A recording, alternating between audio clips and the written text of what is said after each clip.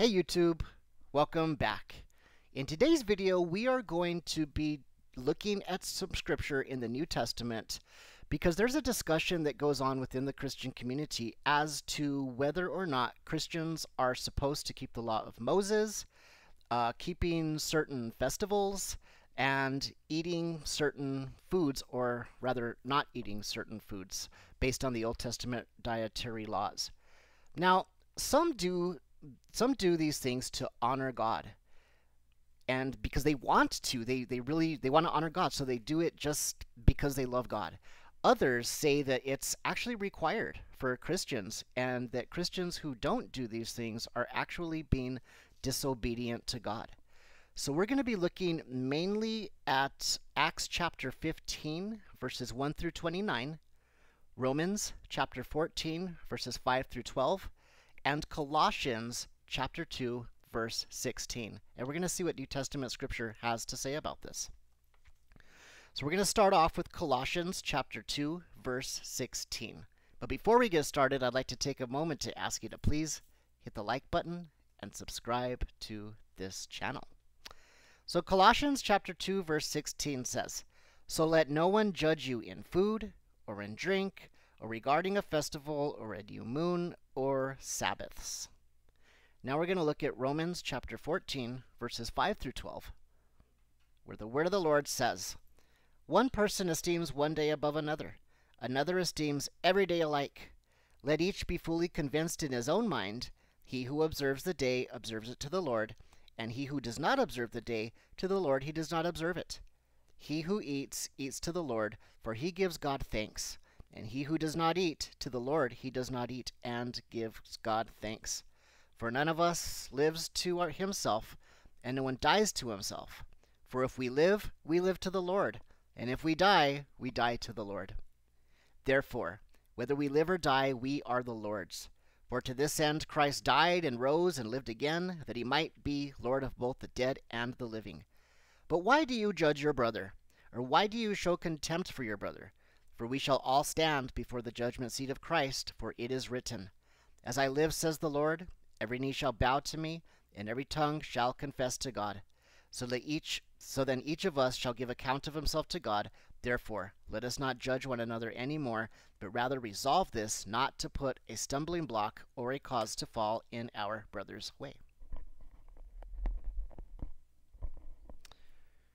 So now, finally, we are going to be looking at Acts chapter 15, verses 1 through 29. The word of the Lord says, let me just adjust this microphone a little bit more because it's getting stuck in my hair. Sorry about that. Okay, Acts chapter 15. And certain men came down from Judea and taught the brethren Unless you are circumcised according to the custom of Moses, you cannot be saved.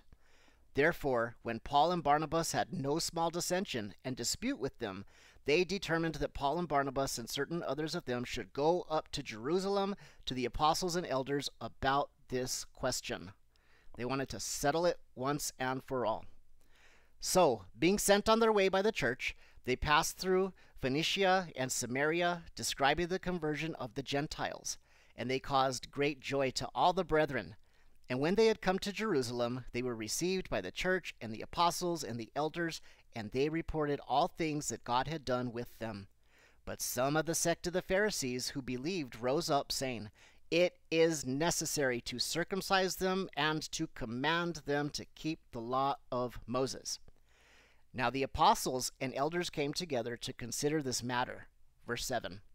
And when there had been much dispute, Peter rose up and said to them, Men and brethren, you know that a good while ago God chose among us, that by my mouth the Gentiles should hear the word of the gospel and believe.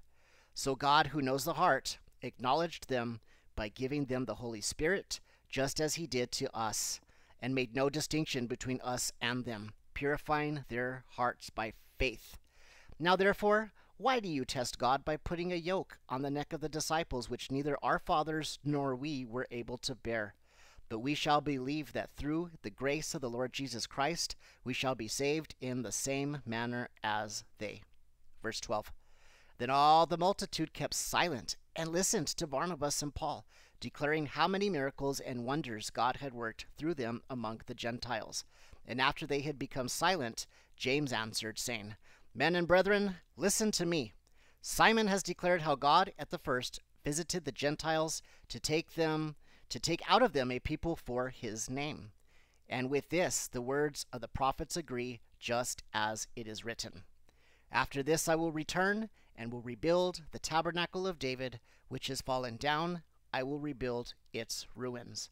And I will set it up, so that the rest of mankind may seek the Lord.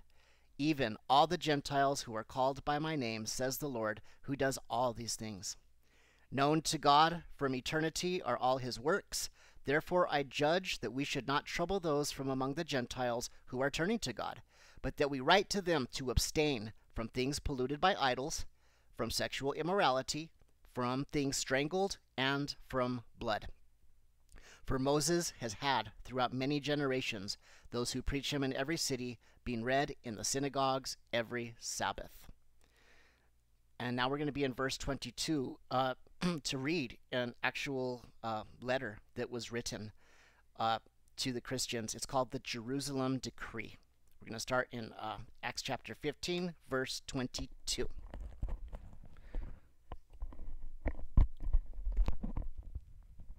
Trouble with my microphone today. Getting stuck in my hair. Okay, verse 22.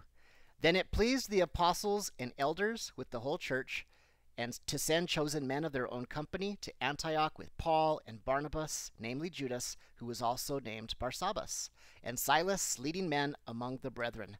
They wrote this letter by them, the apostles, the elders, and the brethren. To the brethren who are of the Gentiles in Antioch, Syria, and Cilicia. Greetings! Since we have heard that some who went out of out from us, they have troubled you with words unsettling your souls, saying, You must be circumcised and keep the law, to whom we gave no such commandment. It seemed good to us, being assembled with one accord, to send chosen men to you with our beloved Barnabas and Paul, men who have risked their lives for the name of our Lord Jesus Christ. We have therefore sent Judas and Silas, who will also report the same things by word of mouth. For it seemed good to the Holy Spirit and to us to lay upon you no greater burden than these necessary things that you abstain from things offered to idols, from blood, from things strangled, and from sexual immorality. If you keep yourselves from these, you will do well. Farewell. Well, I think that that, uh, that section of Scripture answers the question as to whether or not Christians are required to be circumcised and keep the law of Moses.